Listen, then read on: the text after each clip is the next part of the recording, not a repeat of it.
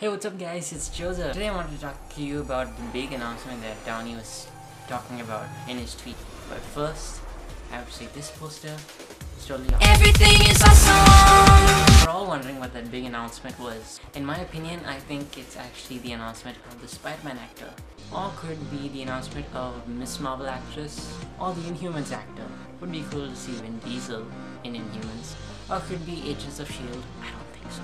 I think it's Spider-Man because they were really persistent to get them into the Marvel Cinematic Universe. Which means, here's where it gets a bit tricky.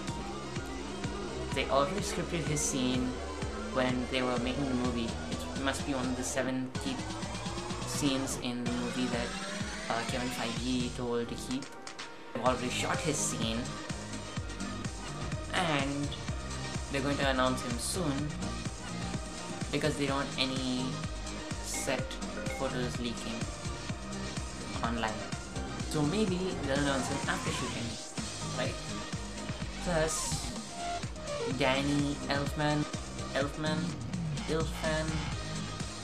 Oh, Danny Elfman. Danny Elfman created the score for Spider-Man. Yep, that's right. The first one created by Raimi, and he's gonna do additional music score for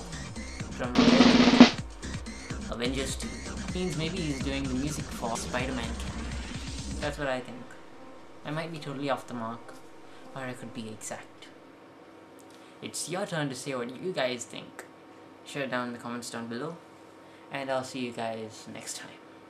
Bye.